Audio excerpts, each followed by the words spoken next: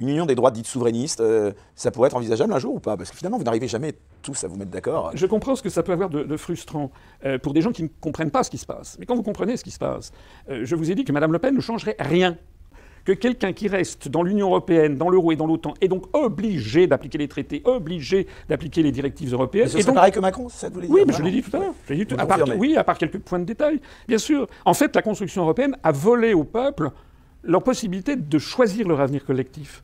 Vous avez, regardez ce qui se passe dans l'Union européenne. Vous avez tous les pays, à l'exception de la Hongrie, qui a une, tradition d'irrédentisme, ils sont tous le doigt sur la couture du pantalon euh, derrière l'Ukraine contre la Russie. C'est quand même étrange. Avec les traditions politiques, syndicales, les traditions d'amitié, etc., normalement, euh, ça, ne devrait pas. On devrait avoir des différences très sensibles en matière de politique internationale. Non. Euh, regardez ce qui se passe en Italie. En Italie, le, débat est exactement le même qu'en France. C'est la démolition des services publics, pas seulement en Italie d'ailleurs. C'est dans le cas dans tous les autres, dans tous les autres pays.